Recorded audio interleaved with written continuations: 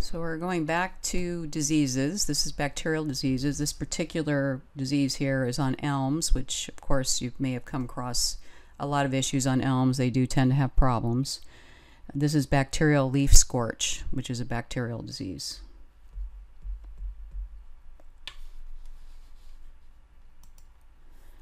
So bacteria are single cell organisms. They can increase in number in a very short period of time, and then when they clump together in masses, you call it a colony. So they obtain food from dead or decaying ma organic matter or living tissue. They spread plant to plant by wind driven rain, and they gain entrance through natural plant openings or injuries. So the way they survive, some of them are, or most of them are epiphytes on plant surfaces. They're just kind of hanging out there. They're not really doing anything. They're not taking anything from the plant. And then saprophytic on decaying organic matter. So they obtain their food by absorbing uh, the dissolved organic matter. And then there's a resting stage.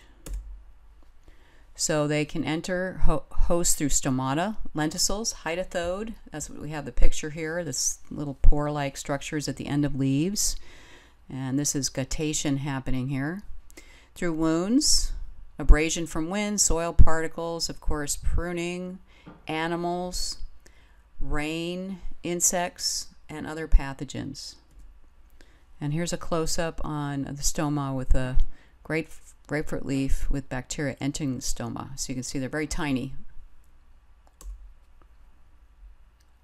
So when you're comparing the two, fungi are not going to have a water-soaked uh, appearance. Uh, the, we're mostly talking about leaf spots here. The texture for fungi would be dry or papery. Bacteria would be slimy or sticky. Patterns of Fungal leaf spots tend to be circular like a target. Bacteria tend to be irregular and angular and usually don't start off crossing the veins. They will eventually. Color change, uh, red, yellow, purple halos, uncommon in bacteria, although we will see some coming up here that have yellow hal halos on them. Fruiting structures very uncommon for bacteria. Fruiting structures such as mycelium and spores for fungi.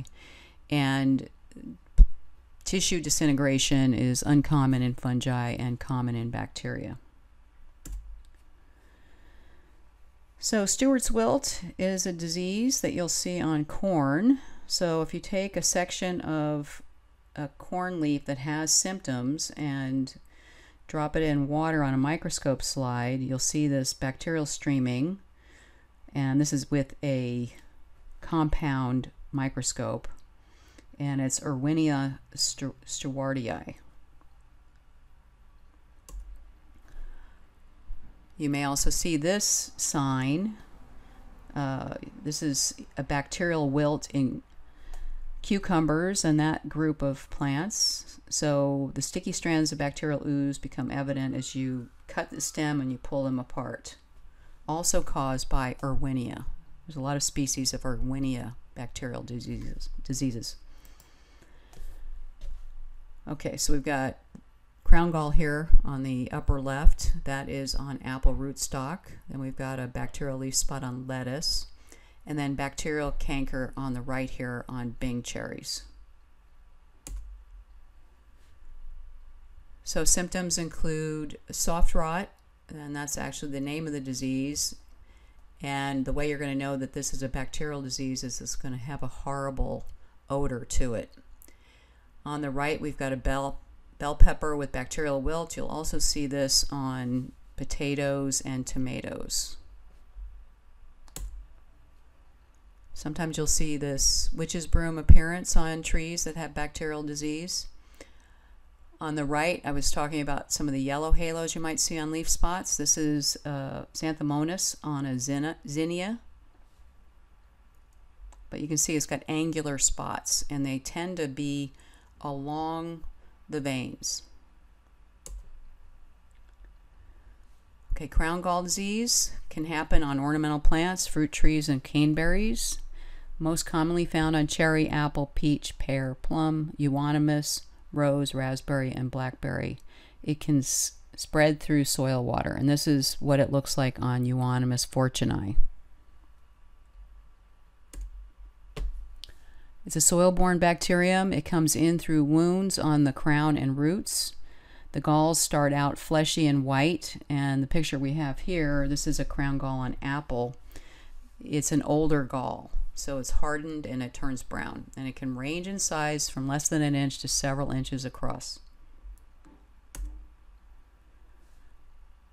So on the left, here's a smaller crown gall, but you see on the right, there's actually a very large crown gall, and it's not at the base of the plant. So um, you would have this analyzed by a lab, obviously, to determine what the problem is. But uh, I would say that that plant needs to come out. I got to think uh, anything growing above that gall is hazardous. Here it is on Euonymus, also Fortunei. So be on the lookout there, and uh, there's some on campus. Hopefully, um, if you're on campus at any point, check it out. But you can see the upper gall here is white, so it's kind of uh, it's a young gall. But then below we've got an older gall. Uh, this plant's a goner. So it's important to avoid injuries to the bark, crown, and roots while planting. You don't want to replant susceptible species in infected soil. If you can prune out the gall, you can try, but you want to make sure your cuts are well below the damage. And then, of course, sterilize your pruning tools between cuts. You want to remove and destroy declining trees that have these large crown galls like we saw in the previous slide remove the roots and surrounding soil if you can. And then you could try this Agrobacterium radiobacter strain K84 Galltrol to prevent infection. It's not going to cure it, but you could dip roots and crowns uh, before planting anything into these infected soils.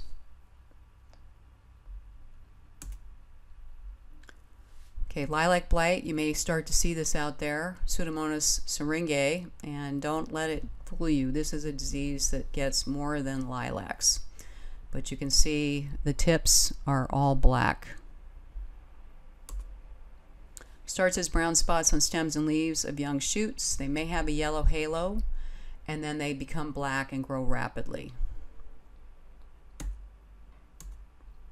So here's some advanced damage here. Here's some more damage. And you can see this kind of shepherd's crook. That's one indicator of Pseudomonas on that lower picture. It also affects pear, blueberries, cherries, maples, and many other woody plants. It may resemble fire blight, uh, probably more common on this side of the mountains than fire blight is, however. It overwinters on diseased twigs um, or stems as epiphytes on healthy wood. And uh, if you're going to, this is, this is something that definitely needs to be cut down. You're not going to be able to salvage this. Management includes air circulation. You prune out and destroy all affected tissues immediately. And when you do this, you want to go at least six inches below damage. Do not fertilize late in the growing season and don't over fertilize young plants. They become more susceptible. And in the spring, protect from rain and frost in hoop houses.